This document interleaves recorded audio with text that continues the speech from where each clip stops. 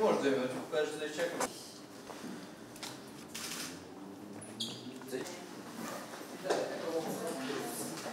Отговор на питане. Една произведение на четири. Мъже не викате си.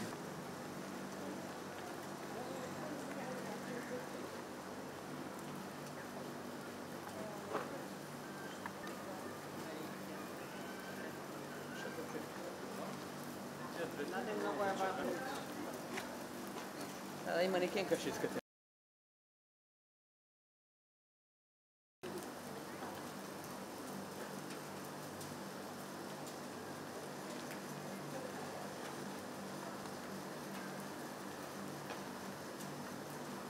ръководителя на организираната престъпна група е създал една стройна структура, престъпна структура за изкупуване на автомобили, които са предмет на кражба, предмет на лизингови измами или предмет на застрахователни измами, както на територията на България, така и на територията на Европа, от европейски страни. След набирането на намирането и осигуряването на такъв автомобил, на същия се извършва интервенция на рамата, на идентификационния номер на рамата, изготвят се неистински документи за неговия происход, следствие на което след това се регистрира в секторите за регистрация към сектори пътна полиция и в Бургас, а има и в страната. За тази цел от групата са осигурявали обикновено лица с нисък социален статус, да ги наречем малоимотни, които са се явявали като собственици на тези автомобили.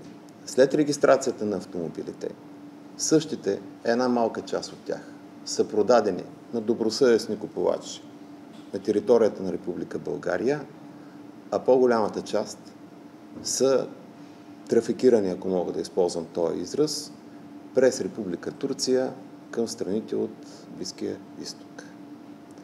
Говорим за автомобили, чиято средна стойност е над 100 000 лева на всеки един от тях.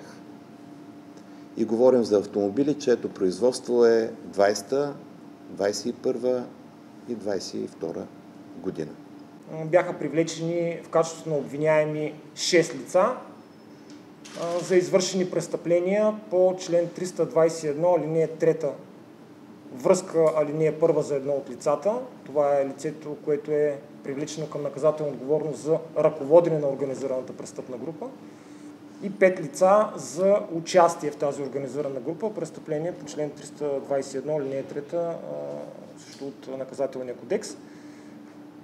За лицето привлечено към наказателна отговорност за ръководене на престъпната група, наказателният кодекс предвижда наказание от 5 до 15 години лишаване от свобода. Сами разбирате, това е едно изключително тежко престъпление с сериозна наказателна санкция.